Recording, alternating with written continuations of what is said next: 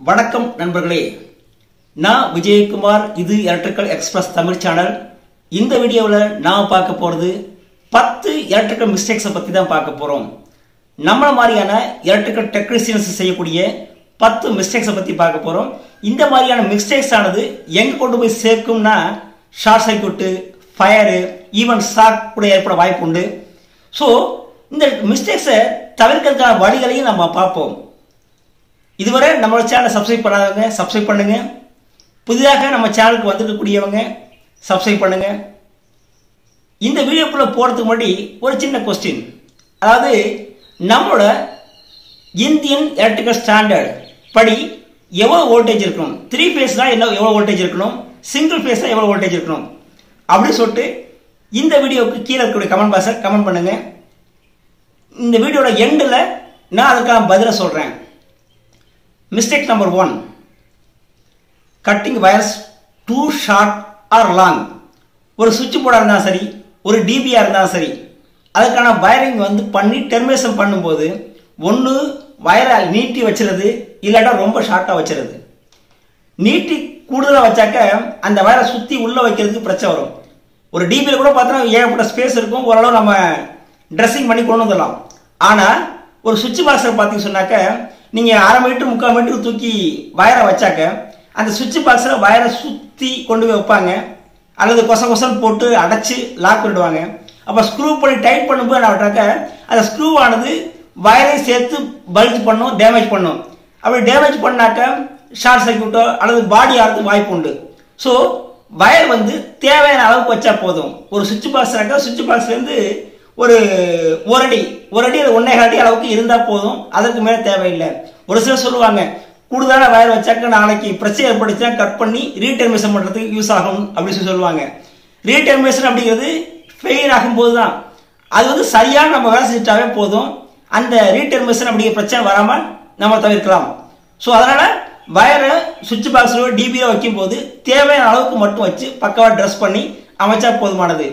இது mistake number one mistake number two ஒரு போர்டில் வயரிங் பண்ணும்போது without ground wire ground wire இல்லாமல் வயரிங் பண்ணுறது இந்த மாதிரி கிரவுண்ட் ஒயர் இல்லாமல் வயரிங் பண்ணும்போது திருப்பின் டாப் போட்டு ஒரு அயன் பாக்ஸோ ஒரு மிக்சியோ கிரைண்டரோ யூஸ் பண்ணும்போது அது ஃப்ரிட்ஜு வாஷிங் மிஷின் இந்த மாதிரியான மெட்டல் பார்ட்ஸ் உள்ள பொருட்களை நாம் பயன்படுத்தும் போது எலக்ட்ரிக்கல் ஷாக்கை அந்த பாடியில் நாம் உணரலாம்.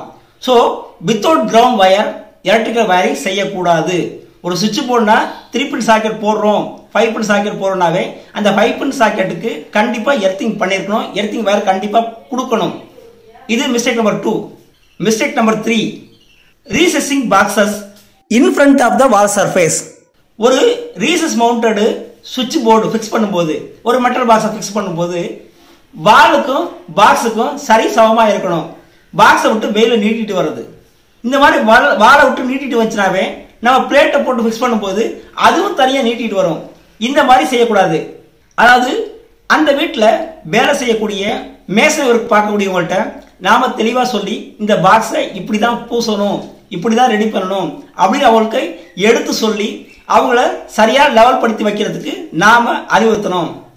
பாயிண்ட் நம்பர் ஃபோர் சர்க்கியூட்டில் உள்ள லோடுக்கு தகுந்த மாதிரியான வயரை பயன்படுத்துவதில்லை ஒரு சர்க்கியூட்டில் அதாவது ஒரு ஹால் ஒரு கிச்சன் ஒரு பெட்ரூம் அப்படின்னு சொன்னா அந்த இடத்துல என்னென்ன வயசு கொண்டு கொடுக்குறோம்னாக்க அந்த வயரோட சைஸு சைஸை வந்து நட்டாக்க சரியாக மெஷர் பண்ண விட்டுறது. லோடுக்கு தகுந்த சைஸ் நாம பயன்படுத்துகிறோம் பெரும்பாலும் கிச்சனில் தான் தப்பு பண்ணுவாங்க. கிச்சனில் பார்த்தீங்க சொன்னாக்க மிக்சி கிரைண்டரு ஃப்ரிட்ஜு இப்படி வரிசையாக வச்சுருப்பாங்க. அப்போ மைக்ரோவேவனு எக்ஸாஸ்ட் ஃபேனு சிம்னி இப்படி வந்து கூடுதல் லோடு இருக்கும். அங்கே போய் ஒன் பஃப் போட்டுருவாங்க. இப்போ ஒன் பஃப் ஹவர் போட்டோம்னாக்க எல்லா லோடும் ஆனில் இருக்கும்போது உங்களுக்கு வந்து பார்த்தீங்கன்னா கரண்ட் கூடுதலாக போகும். அப்போ அந்த வயரானது சீக்கிரமே எரிஞ்சு போத வாய்ப்பு உண்டு. ஸோ லோடு என்னவோ லோடுக்கு தகுந்த வயரை நாம பயன்படுத்தணும். அப்படி பயன்படுத்தினா ஓவர் ஹீட்டிங்கை தவிர்க்கலாம். ஓவர் ஹீட்டிங்ல ஒன்னோட மெர்ஜ் ஆகி ஃபிளாஷ் ஆகிறதுக்கோ ஷார்ட் சர்க்கியூட் ஆகிறதுக்கோ ஃபயர் ஆகிறதுக்கோ உள்ள வாய்ப்புகளை நாம தவிர்க்கலாம். Mistake number five installing cable without clamp cable வந்து லே பண்ணும்போது கிளாம்பு பார்த்தீங்கன்னாக்க இஷ்டத்துக்கு அங்கே இங்கோனோ போட்டு கொடுத்துட்டு போயிடுவாங்க பவர் சப்ளையும் வரும் எல்லாம் நடக்கும். ஆனால் ட்ராம்பிங் வந்து பக்காவாக பண்ணாதனால கொஞ்ச நாளைக்கு அப்புறம் கேபிள் தொங்க ஆரம்பிச்சிடும் இந்த மாதிரி பண்ணுறதுனால பார்த்து சொன்னாக்க கேபிள் தொங்கிட்டு இருக்கும் பார்க்க அழகாக இருக்காது. அது ஒரு டெக்னீஷியன் செய்யக்கூடிய வேலையே கிடையாது. அதனால் நீங்கள் வேலை செய்யும் போது அல்லது வேலையை சூப்பர்வைஸ் பண்ணும்போது நீங்கள் இந்த விஷயத்தெல்லாம் நல்லா கவனிங்க. ஒரு கேபிள்னாக்க ஒரு ரெண்டு அடி அந்த லெவலுக்கு வரிசையாக கிளாம் பண்ணும்போது தான் பார்க்கறதுக்கு அழகாக இருக்கும். அது ப்ராப்பரான வேலையாகவும் இருக்கும். Mistake number six over filling of boxes ஒரு ஹாலில் ஒரு போர்டு ஃபிக்ஸ் பண்ணுறோம் ஒரு சுவிட்ச் பாக்ஸ் ஃபிக்ஸ் பண்ணுறோம்னாக்க அந்த பாக்ஸில் ஒரு ஹாலில் ஒரு பத்து லைட் இருக்குது. பத்து லைட் ப்ரொவைட் பண்ணுறோம் ஃபேன் ரெண்டு போடுறோம். அப்புறம் சைடில் வைக்கக்கூடிய லைட்டிங்ஸ்லாம் செட் பண்ணுறோம் கீழே ஃப்ளோர் லைட்டு ஃபுட்லாம் போடுறோம் அப்படின்னாக்க எவ்வளோ வந்து அந்த ஹாலில் நாம் அமைச்சிருக்கக்கூடிய சுவிட்சஸ் எவ்வளோ சுவிட்ச் பாக்ஸ் என்ன போடுறோம்? அதாவது இருக்கக்கூடிய சர்க்கியூட் தகுந்த மாதிரி சுவிட்ச் பாக்ஸை அமைக்கணும். இப்போ சிக்ஸ் மாடல் பிளேட்டை தூக்கி சிக்ஸ் மாடல் பிளேட்டுக்கான பாக்ஸ் தூக்கி பிக்ஸ் சொல்லிடுவாங்க. அதை பார்த்து சொன்னாக்க ரெண்டு பேர் மூணு பேரை ஒன்றா கொண்டு வந்து ஒரே சுவிட்ச் சுவிட்சை கனெக்ட் பண்ணுவாங்க. இந்த மாதிரி செய்யக்கூடாது. அந்த வீட்டில் அந்த ஹாலில் அந்த ரூமில் எவ்வளவு சர்க்கியூட்ஸ் நம்ம கொடுத்துருக்கோமோ அதாவது லைனிங் சர்க்கியூட் அதாவது பீஸ் வயர்ஸ் கொடுக்குறோமோ அந்த பீஸ் வயருக்கு தகுந்த மாதிரியான சுவிட்ச் பாக்ஸஸை நாம் பயன்படுத்தணும். Mistake number seven reversing of hot and neutral wires wiring பண்ணும்போது ஒரு சிலர் ஒரே கலர் வயர் யூஸ் பண்ணி வயர் பண்ணிடுவாங்க. கனெக்ஷன் பண்ணும்போது ஃபேஸை நியூட்ரலாகவும் நியூட்ரல் ஃபேஸாகவும் கொடுத்துட்டு போயிடுவாங்க அந்த மாதிரி கொடுக்கறது ரொம்ப ரொம்ப தப்பானது. அது மாதிரி நீங்கள் செய்யாதீங்க. ப்ராப்பர் வயர் கோடு உள்ள ப்ராப்பராக கலர் கோடுள்ள வயரை பயன்படுத்துங்க. சரியாக ஃபேஸ் நியூட்ரலை கொடுங்க. ரிவர்ஸ் பண்ணி கொடுத்துறாங்க. மிஸ்டேக் நம்பர் எயிட் ப்ராப்பரான ப்ரொடெக்டிவ் டிவைசஸை நாம் பயன்படுத்துகிறோம் ப்ராப்பரான ப்ரொடக்டிவ் டிவைசஸ்னாக்க இப்போது ஃபைவ் கிலோவாட் கீழே வயரிங் பண்ணுறோம் அதாவது சிங்கிள் ஃபேஸ் வயரிங் பண்ணுறோம் three phase wiring above five kilowatt அந்த மாதிரி நம்ம பயன் வயரிங் பண்ணும்போது ப்ரொடக்டிவ் டிவைசஸ் அதாவது இஎல்சிபி அப்படின்னு சொல்லக்கூடிய இப்போ ஆர்சிசிபி ஆர்சிசிபியை கண்டிப்பாக பயன்படுத்துங்க. ப்ரொடக்டிவ் டிவைஸ் இல்லாமல் நீங்கள் வயரிங் பண்ணாதீங்க. அது அந்த வீட்டில் இருக்கக்கூடிய கன்சியூமர்ஸை பாதுகாக்கும். மிஸ்டேக் நம்பர் நைன் அதாவது ஒரு ஜங்ஷன் பாக்ஸாக்க ஜங்ஷன் பாக்ஸுக்கு அவுட்டரில் வந்து வயரை ஜாயின் பண்ணுறது ஜாயின் பண்ணி ஒரு லைட்டோ ஃபேனோ லிங்க் பண்ணுறது இந்த மாதிரி சர்ஃபேஸ் அது பாக்ஸு ஜங்ஷன் பாக்ஸோ அல்லது சுவிட்ச் போர்டுக்கு வெளியிலையோ கனெக்ஷன்ஸ் பண்ணக்கூடாது. ஒரு ஜங்ஷன் பாக்ஸ் ஆக்க ஜங்ஷன் பாக்ஸ் இருந்து ஒரு சீரியஸ் போகிறோம் ஒரு பல்பு போகிறோம் அப்படி சொன்னாக்க அதுலேருந்து சி ப்ராப்பராக சீரியஸோ அல்லது ஹோல்டரோ போட்டு அதான் நம்ம வயரிங் பண்ணணும் அதுக்கு பதிலாக வெளியில வயரை மட்டும் கொண்டு போய் கொடுத்து அதை ஜாயிண்ட் அடிச்சு அந்த மாதிரி செய்யக்கூடாது.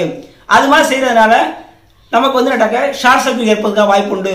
ஆனால் வயர்கிட்ட சரியாக வந்து டைப் பண்ணி டேப் சரியாக பண்ணல ஒன்றா ஜாயிண்ட் அடிச்சு ரெண்டு பேரும் ஒன்றா ஜாயின் பண்ணுவாங்க. அதாவது ஃபேஸ் தனியாக ஜாயின் பண்ணுவாங்க நியூட்ரல் தனியாக ஜாயின் பண்ணுவாங்க ரெண்டையும் சேர்த்து ஒன்றா லாக் பண்ணி ஒரே ஜாயிண்ட் அடிப்பாங்க. அந்த மாதிரி அடிக்கும்போது ஃபயர் ஏற்படுறதுக்கு வாய்ப்பு உண்டு ஷாக் ஏற்படுறதுக்கு வாய்ப்பு உண்டு. அதனால நீங்க வயரிங் பண்ணும்போது ஒரு பாக்ஸ்ல பாக்ஸுக்கு அவுட்டர்ல எக்காரத்தை கொண்டும் எந்த விதமான ஜாயிண்டோ போக்குவரத்தோ போடாதீங்க.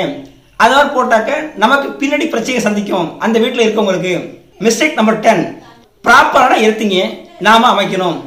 வீட்டுக்கான எர்த்திங் பண்ணும்போது ப்ராப்பரா எர்த்திங் பண்ணணும்.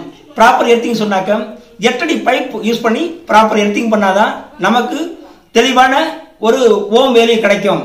அதனால் பார்த்து சொன்னாக்க அந்த வீட்டுக்கான ப்ரொடக்ஷனை அதிகப்படுத்தலாம். ப்ராப்பர் எர்த்திங் நாம் பண்ணணும். இந்த பத்து தவறுகளை நீங்கள் பார்த்துருக்கீங்க. உங்களுக்கு தெரிஞ்ச தவறுகளையும் கீழே வந்து நட்டாக்க கமெண்ட் பாக்ஸில் சொல்லுங்கள் நானும் புரிஞ்சுக்கிறேன். இந்த ஃபர்ஸ்ட் ஒரு கொஸ்டின் கேட்டிருந்தேன். இந்தியனோட எலக்ட்ரிசிட்டியில் கிடைக்கக்கூடிய வோல்டேஜ் வோல்டேஜ் இந்திய எலக்ட்ரிசிட்டியோட வோல்டேஜ் பார்த்து சொன்னாக்க த்ரீ ஃபேஸ் அப்படின்னு சொன்னாக்க four fifteen volt single phase அப்படின்னு சொன்னால் டூ ஃபார்ட்டி வோல்ட் அதாவது டூ த்ரீ போட்டு பார்த்தீங்க two forty volt single phase சொன்னால் டூ ஃபார்ட்டி த்ரீ ஃபேஸ் சொன்னால் ஃபோர் ஃபிஃப்டின் பலர் வந்து தப்பாக புரிஞ்சுக்குவாங்க. அதாவது இந்தியாவோட எலக்ட்ரிசிட்டியோட ரூல்ஸ் படி பார்த்தீங்க சொன்னாக்கா four four hundred volt three phase சொன்னால் சிங்கிள் ஃபேஸ் சொன்னாக்க டூ தேர்ட்டி வோல்ட் அப்படின்னு சொல்லிட்டு புரிஞ்சிருப்பாங்க. அது பழைய ஸ்டாண்டர்டு நியூ ஸ்டாண்டர்ட் அப்படின்னு சொன்னாக்க four fifteen volt two forty volt two thirty இல்லை டூ ஃபார்ட்டி வோல்ட் இந்த விஷயம் உங்களுக்கு புரிஞ்சிருக்கா தெரிஞ்சிருக்கா நினைக்கிறேன். இந்த வீடியோ மூலம் நீ தெரிஞ்சிருப்பீங்க நான் இதுவரை நம்மளோட சேனலை சப்ஸ்கிரைப் பண்ண சொன்னால் சப்ஸ்கிரைப் பண்ணுங்கள் புதிதாக நம்ம சேனலுக்கு வந்திருக்கவங்களும் நம்ம சேனலை சப்ஸ்கிரைப் பண்ணுங்கள் இது மாதிரியான எலக்ட்ரிக்கல் சம்மந்தப்பட்ட வீடியோஸை நம்மளோட சேனலை தொடர்ச்சியாக நீங்கள் பார்க்கலாம். நன்றி.